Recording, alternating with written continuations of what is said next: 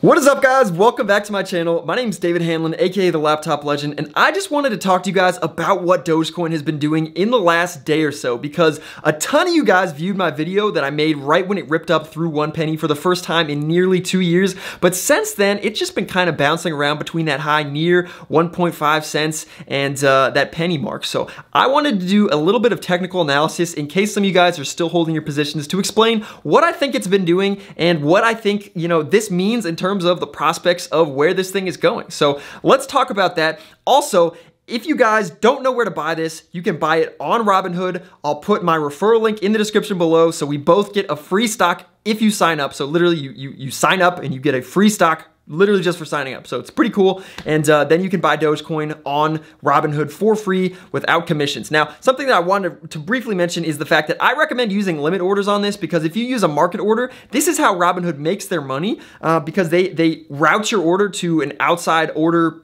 like filling party, if that makes sense. And because of that, they always end up screwing you just a little bit on the price. So limit order, you can say, I want to buy this at no more than one penny and you'll get it for exactly one penny. But if you use a market order, you say, I want to buy X amount of dollars worth of this at any price whatsoever. So they will end up giving you, even if it's trading at a penny, they'll give it to you for like 1.002 pennies. And that extra bit is what you end up overpaying just because you didn't use a limit order. So that's something that I wanted to briefly mention. Um, and now in terms of the chart also, uh, Robinhood's app is a little bit glitchy right now in terms of displaying the prices for Dogecoin. So once it got over penny, it stopped displaying the extra three digits. So because of that, you guys should definitely make sure you go to the Robinhood website. Again, I have it pulled up here on my computer. You guys can kind of see in the background. Um, but this gives you a way more in-depth look at the you know individual price movements. And without this, you're really just flying blind, man. I, I feel like you have absolutely no idea what is going on. So definitely pull it up if you're going to be trading it.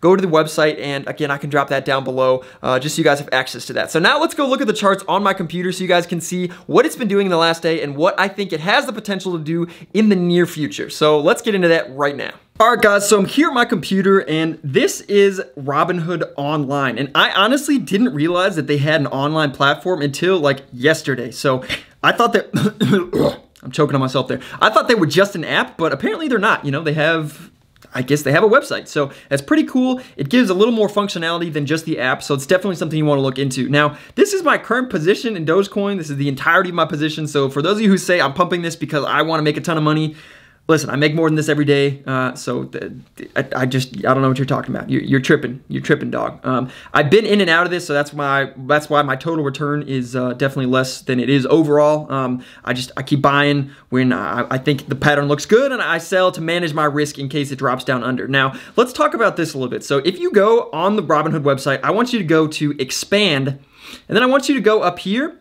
and I want you to click on, instead of line, you wanna see candlesticks because this is actually gonna show you the information that's helpful to you. And I wanna explain why. So line graphs only go based off of, I, I, forget if it's the opening or closing price. And that means whatever the price is when the hour mark closes um, or whatever the, uh, the division of time is. So in this case, you can see it's going by hour and uh, that's what it's going based off of. So every hour, whatever it is at the end of the hour, that's where it puts a little point on the graph. And this gives you very little information about how the stock or cryptocurrency is actually moving. So if you change it to candlesticks, this gives you a lot more information. A green candlestick is when it went up during that time period. A red candlestick is when it went down during that time period. And then these wicks, this is what it's called, um, that's not part of the body of the candle. This is all of the range during that time. So if we're looking here at just the line graph, it looks like this didn't make it up high at all. Uh, I mean, which is just not true at all. Because if you guys actually watched it, if you go back to candlesticks, you can see that this actually made it up all the way almost to 150, which is crazy. And I mean, this run was absolutely wild, man. It, it broke through one penny and just went all the way on up and almost hit 1.5. So like crazy run up after this consolidation here. Now, what I'm seeing now is a similar type of consolidation because you can see here it rejected pretty hard and there was a lot of selling once it got up here. That's what this massive wick means. It means that it really did not stay up in this area for long and then it sold off a ton after that. Now, the price that we see here at the bottom, you can see L over on the left side of the screen is uh, 0.0083. And that is a very important number to me. Um, but honestly, I would say even a little bit more important than that is probably going to be this 90 cent mark. And the reason for that is Right now, this I keep wanting to say stock, but it's it's a cryptocurrency. This currency is making higher lows, and that is a very good thing in terms of consolidation and looking forward to break through this high of 0.0148. And that's what we want to see if we want to test those all-time highs at, I believe, if I'm not mistaken, I believe it is 0.0188.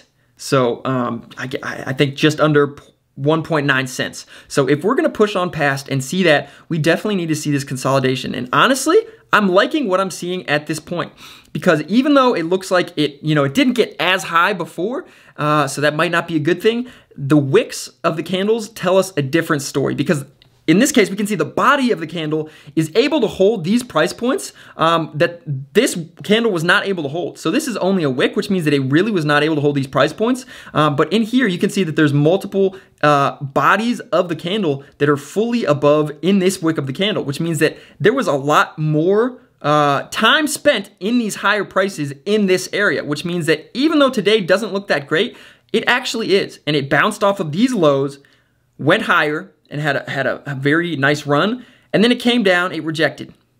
And now at this point, we're right at the area where I personally believe it's turning around because it cracked this uh, this penny area again. And you can see it was like it was trying to fail down here, but it bounced off of 90 cents, man. It just absolutely rejected it. had some massive green candles after that and uh, went right back up. And at this point, it looks like it's broken this downtrend. You know, you could draw a line. I wish I could on Robinhood, but it's, again, not a very good broker, um, except for the fact that it pioneered free trading and it, it, has the ability to trade crypto as well. So I love that aspect about it. If you're trading stocks, it's not that great of a broker. Um, but anyways, if you drew a line here, this would be a very clean downtrend. Um, and you could draw one here too. But the fact that it rejected off of this, bounced back up, and now is, you know, starting to perk back up, I would say is a good thing. And this looks like consolidation to me. So what are the most important levels on this stock? I mean, you can see it's, definitely uptrending at this point. Um, on the live view at least. So what are the important levels on this stock? So for me, the most important levels I would say are this 90 cent area. I really want to see this hold. And then after that, I really, really want to see uh, this low here of, you know, I guess it's not 90 cents. It, I'm just going to call it 90. This low of 90 and this low of 83 right here. So if this holds and this holds, I would say that's very good for continuing to see consolidation in these levels and then, you know, potentially getting a rip on past these highs and then a rip past on these highs. And I would say if this is able to rip past 148, it's going to test those all-time highs. I would be extremely confident. And if it tests the all-time highs, it'll probably have a sell-off, come back down to, I don't know, 140. I wouldn't be surprised. Uh, and then rip through those and, you know, easily blow through two cents. That would be my ultimate guess. And it could run all the way up to 2.5 cents if it's able to break out to all-time highs. And what is my reasoning on this? Now, I'm saying that because I'm seeing a lot of new things coming in about this stock. It's getting a lot of new coverage. Yeah, there you go. I guess this just updated. So now you can see this candle a little bit better. Um, so it's really starting to perk back up here and reverse that downtrend that was, you know, a little bit scary for a while. So I was cutting in here because I wasn't sure where this was going to fall. Uh, I wasn't sure if, if, if it was going to break down below these areas of 0.83 because if it does that, you know, that, that's a very bad sign for the continuing breakout of this stock. Now let me just pull up Google really quickly so you guys can see what I'm talking about. So if I search Google for Dogecoin, you guys can see here, it's on Yahoo Finance, it's on Benzinga, it's on, it's on all this these different news sources. Um, we can actually see they're trying to blame the uh, the massive increase because some adult film star uh, was tweeting about it. Now, I personally don't believe that one adult film star is going to have that much of an impact. You know, Elon Musk tweeted about it, and it definitely perked it up um, a while back, and I think that's what started this whole run. Uh, but at this point, you know, the Bitcoin run is definitely going to be continuing that hype. And I personally expect if we can hold these levels and then break out to all new highs, I would expect a lot of major news sources to start covering this. And by that, I mean bigger news sources like maybe CNBC, like all of those. Um, and if we start getting that, we're going to get a lot more mainstream attention, and when that happens, I personally believe it can uh, it can see a really big spike. So that is why I'm excited because the media hype is what really drives the growth of this coin, and I think it has the potential to do that. And based on the technical analysis of what it's doing right now, I think it looks pretty positive in terms of doing that. Now, if it rejects these levels and did uh, it's not able to break down past this. You know, it maybe it makes a lower high in this area. It tops out at uh, I don't know 0.35 or or 1.30 in that area. I guess 130. Let's call it that for the, the sake of ease. And then it drops down below this, and it makes a lower low. You know, it drops under 90 cents all right, well, that's not so good anymore. You know, at that point, it doesn't really look that great. So I think we definitely need to wait and see at this point. It's not a guaranteed, wow, this is going to go crazy. But I think it still has the potential uh, to be setting up for a reversal of these rejections and continue on, break through this high of 148, rip through the all-time highs of 188, and, uh, you know, continue on upwards. So I'm definitely excited to see what happens.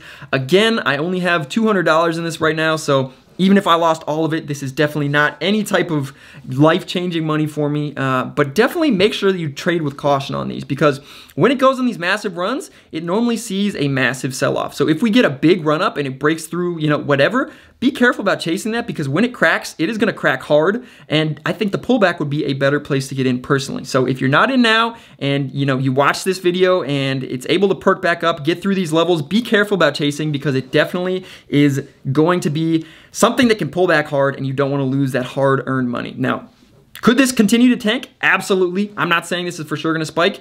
Again, if it breaks down under these levels of 0.83, that is not a good sign. And, uh, you know, I would be very hesitant to keep holding a large position at that point. There was actually someone I saw on Twitter who, oh my gosh, I'll put it up here. I forget what it is. It was something crazy like a 100,000 profit or something based off of, off of his position size. I mean, it was absolutely nuts. So I don't have anywhere near that amount of money invested in Dogecoin. Again, it's only $200, but I'm excited to see what it can do. You know, I enjoy riding hype trains. I rode this a while back when it was hyped up by TikTok. So I'm just excited to see what it does. And uh, hopefully you guys enjoy and make some money off of it as well. Definitely watch out for these key levels and be sure not to chase. And uh, yeah, that's pretty much it. Again, if you don't have this app already, download it below with my referral link. We'll both get a free stock and uh, you'll be able to buy it for free. Just make sure to use those limit orders so you don't get screwed over by the market orders. And uh, yeah, that is it for this video, guys. I will see you in the next one. Probably doing another update on this um, if it's able to continue to break out because, you know, it very well might. And uh, yeah, I'll see you guys in the next one. Until then, let's grow better together.